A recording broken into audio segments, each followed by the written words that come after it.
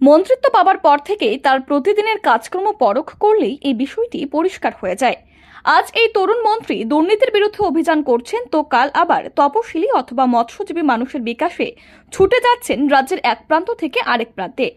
বিগত পাঁচ বছরে ফটিকরায়ে যে উন্নয়নের জোয়ার মন্ত্রী সুধাংশু দাস বিধায়ক থাকাকালীন করে গিয়েছেন, সেই নিরিখেই বিধানসভা নির্বাচনে তাকে নিজেদের প্রতিনিধি করে পাঠিয়েছে উন্নয়নকামী আমজনতা আর মানুষের সেই ভালোবাসাকেই সম্পূর্ণ প্রতিদান দিতে রাজ্যের প্রাণী সম্পদ ও তপশিলি জাতি কল্যাণ মন্ত্রীর একমাত্র লক্ষ্য যেভাবেই হোক মানুষকে প্রাপ্য সরকারি সুবিধার প্রকৃত প্রাপ্য দিতেই হবে। আর তাই দুর্নীতির মৌচাকে আর দুর্নীতি প্রবণ মানুষদের বিরুদ্ধে সুধাংশু দাসের এই অনমনীয় মনোভাব। প্রধানমন্ত্রী নরেন্দ্র মোদীর আর মুখ্যমন্ত্রী ডাক্তার মানিক সাহার নেতৃত্বে যেভাবে উন্নত ত্রিপুরা গড়ার কর্মকাণ্ড চলছে, তা নিরিখে অবশ্যই বলা যায়, সেই মিশনকে সফল করার অন্যতম রূপকার হিসেবে রাজ্যের এই তরুণ তুর্কি বিধায়ককে মন্ত্রী হিসেবে নির্বাচন করা প্রকৃতপক্ষে বিজেপি দলের পরিপক্ক এবং সুদূর প্রসারী রাজনৈতিক দৃষ্টিভঙ্গিরই অন্যতম পরিচয়।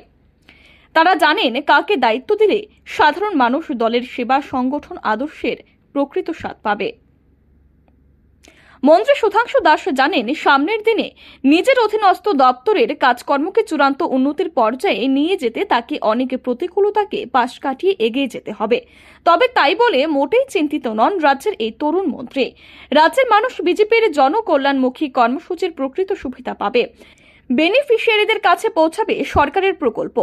আর সেই রূপায়ণকে নিখুঁত রূপ দিতে ক্লান্তিহীনভাবে কাজ করে চলেছেন মন্ত্রী সুধাংশু দাস।